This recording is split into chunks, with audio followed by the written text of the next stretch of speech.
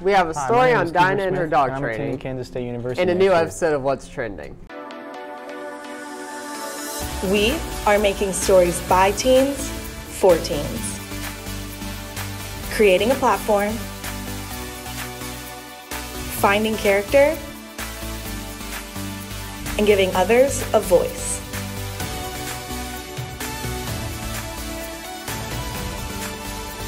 This is SVTV. Howdy. And I'm Tanner. Let's get into the news. Recently, Kyle and I went to find out more about an interesting opportunity one Seaman student and her dogs found. Dyna Woodman is very known in the dog training world. Let's go learn more about it. Uh, Dyna was seven years old um, when she first started showing and training and trialing with a dog that's now 15 years old. Uh, was one of my trainees.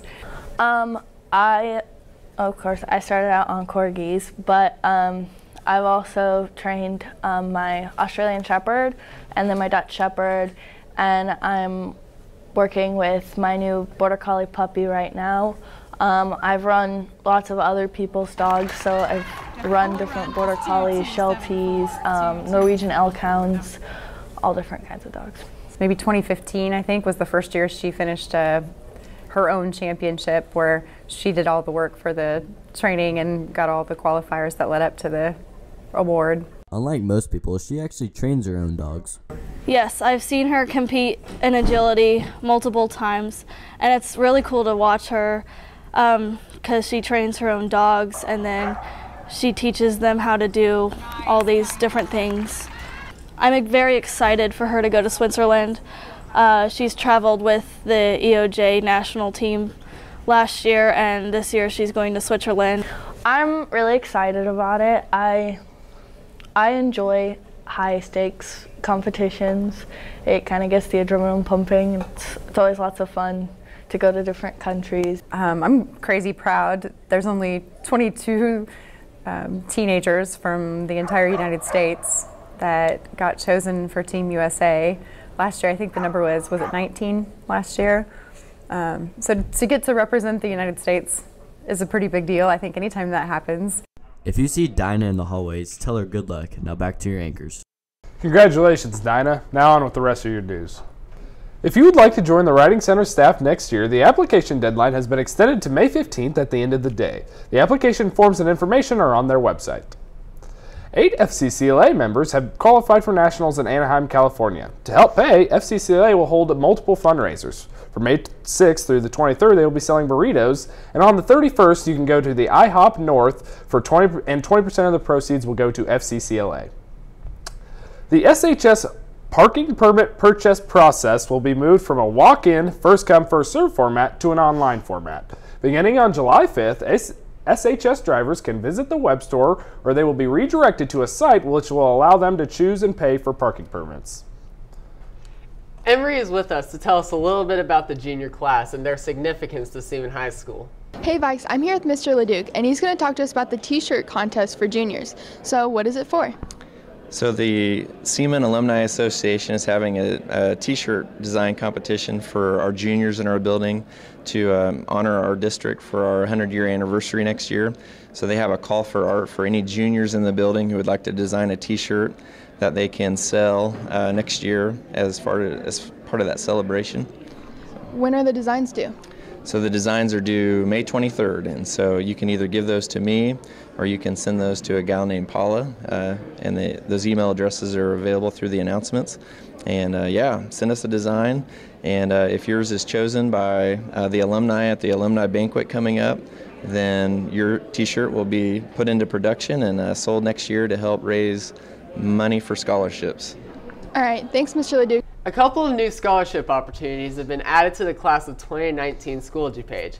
Make sure to check them out. The following students have been selected as this week's safe winners. Kate Townsend, Alexa Walker, and Parker Jower. Thank you for pledging to always wear your seatbelt. Stop by the security office to pick up your prize. Now we're heading over on to Mason with some info on some sports. This morning, Jaden Yingling signed a letter of intent to play soccer at Kansas City, Kansas Community College. Congratulations. Coach Tuck and former Coach Garman will instruct the Shawnee Starks to improve strokes and provide a solid workout. The workout sessions run from Monday through Thursday, 6:30 a.m. to 8 a.m. from June 3rd to July 18th. Last night, baseball won against Hayden 6-2, and our Lady Vikes soccer team beat Highland Park 8-0. The league track meet will be tomorrow at Hummer Sports Park. Let's go to Joss to see if there's more rain in our future.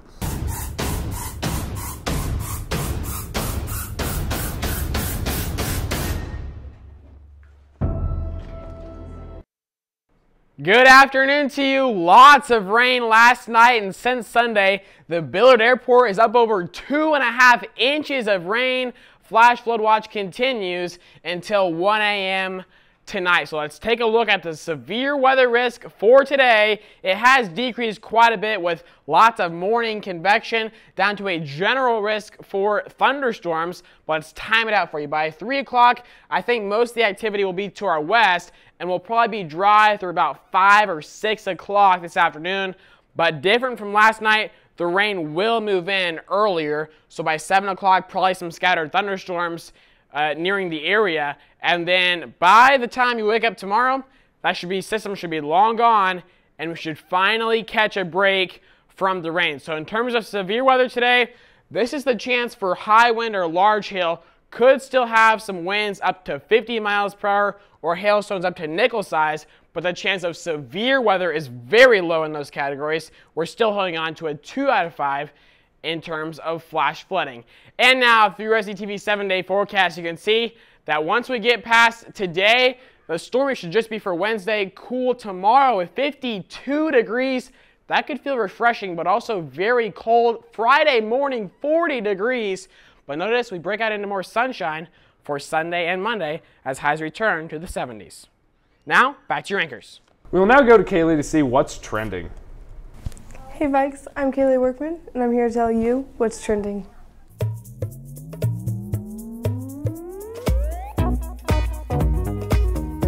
The Kansas Can program's goal is to get seniors involved. We take short videos of them saying what they're going to do after high school and their academic plans. This segment will go on for the month of May. I went around asking seniors about their plans. Let's go check it out. I'm Benjamin Pisaki, I go to Seaman High School, and I'm going to the Divers Institute of Technology for underwater welding. Kansas can, and I am. That's all for this week. I'll be back next week with another episode of Kansas Can and with our seniors. Have a great day, Vikes.